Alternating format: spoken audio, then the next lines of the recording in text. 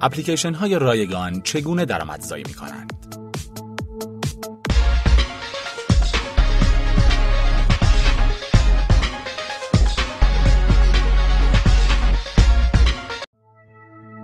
سلام و وقت بخیر به همه شنوندگان عزیز و علاقمندان به عرصه پادکست.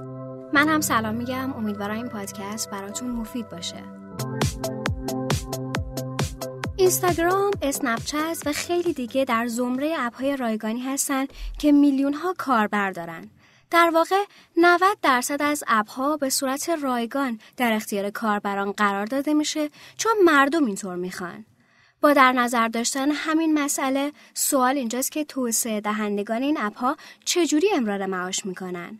در ادامه این پادکست به این سوال پاسخ میدیم. تبلیغات درون برنامه ای تبلیغات درون برنامه ای محبوب ترین و سودده ترین راه برای پول درآوردن از اپلیکیشن هاست. علت هم اینه که تقریبا هر کسی بخش قابل توجهی از زمان خودش رو صرف اسکرول کردن در فضای اپ ها و مشاهده محتواشون می‌کنه و به نوعی با اونها درگیر میشه. به همین خاطر تبلیغات درون برنامه سریع ترین شکل تبلیغات موبایلی به شمار میره. با در نظر داشتن اون چه گفته شد پیش بینی میشه که درآمد تبلیغات از محل اپلیکیشن ها تا سال 2020 به رقم 100 میلیارد دلار می‌رسه. ایده کار هم خیلی ساده است. شرکت های تبلیغاتی بابت مشاهده شدن محتواشون و کلیک هایی که روی اونها انجام میشه به توسعه دهندگان پول میدن. گیفی رو در نظر بگیرید که مربوط میشه به یک رستوران زنجیره‌ای به اسم Taco Bell که چندی قبل کمپین تبلیغاتی تازه‌ای در Snapchat را انداخت که با کلیک روی اون کاربران به صفحه‌ای وارد می‌شدن و می‌تونستند محتویات داخلی تاکوی دلخواهشون رو خودشون انتخاب کنند. اونطور که گزارشات نشون میده این تبلیغ بیش از 224 میلیون بار دیده شد و البته ده میلیون دلار خرج روی دست تاکوبل گذاشت. لازم اشاره کنیم که این صرف هزینه بی جواب هم نمونده و اونطور که تاکوبل گفته نتایج خوبی براش داشته. علاوه بر 224 میلیون بازدیدی که اشاره کردیم، اسنپ چت اعلام کرده که کاربران تنها در یک روز زمان زیادی رو هم صرف کار کردن با فیلترهای طراحی شده توسط تاکوبل کردند که مجموعاً برابر با 12 سال بوده. خریدهای درون برنامه خریدهای درون برنامه ای در اصل پیشنهادات اقوا کننده هستند که توسعه دهنده ها به صورت استراتژیک ایجادشون می‌کنن تا شما رو به عنوان کاربر برنامه خودشون ترغیب به خرید بکنن. در ازای این پرداخت هم کاربر افزونه نیروی اضافه برای ادامه بازی و شتاب دهنده هایی رو دریافت می‌کنه.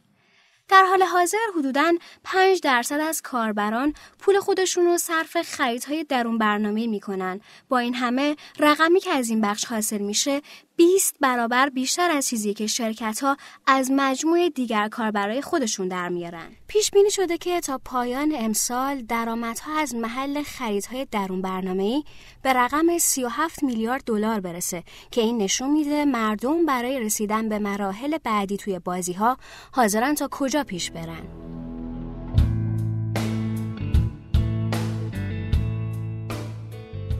فریمیوم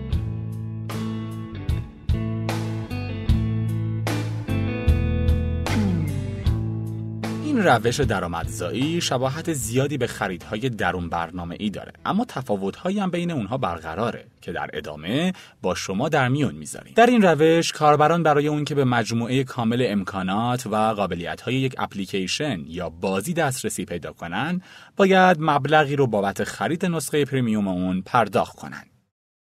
طبق تعریف ارائه شده از طرف اپل در مدل کسب و کار فریمیوم کاربران برای دانلود برنامه یا بازی پولی پرداخت نمی کنند و در مقابل برای دسترسی به قابلیت های اعلای اون محتوای اضافه تر و یا کالاهای دیجیتالی به اونها پیشنهاد میشه که در صورت تمایل به خرید نسخه premium مبلغی رو پرداخت کنند. در این بین Spotify رو میشه نمونه بسیار خوبی از این الگوی کاری دونست. فهرست امکاناتی که برای نسخه رایگان این برنامه در نظر گرفته شده خیلی کم و محدوده.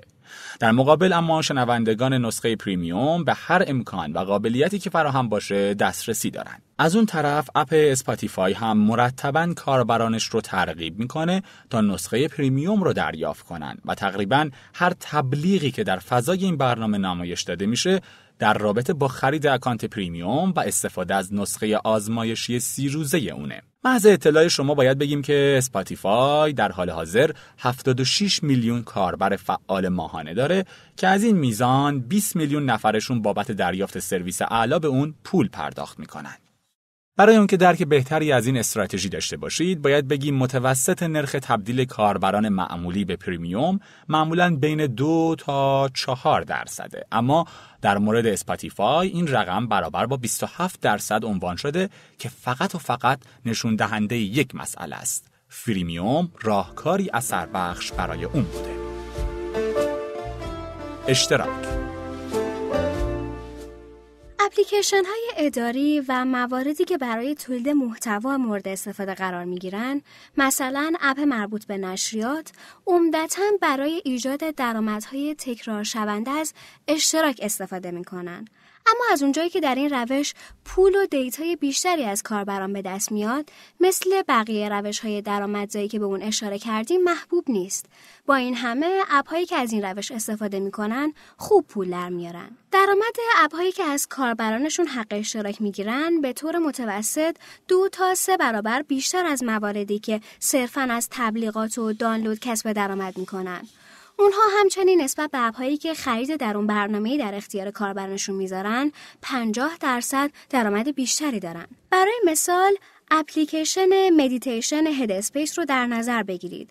برای اون که تجربه کاملی از این برنامه رو پشت سر بذارید لازمه اشتراک اون رو با پرداخت مبلغ 7 ممیز 99 دلار در ماه دریافت کنید.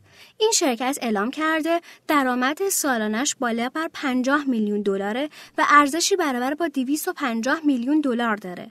این رقم همونطور که تایید خواهید کرد برای یک اپ رایگان که صرفا کمک می‌کنه آرامش بیشتری داشته باشین ابدا بد نیست. دوستان عزیز پادکست در اینجا به پایان رسید. برای من که جالب بود. امیدوارم شما هم از شنیدنش لذت برده باشید.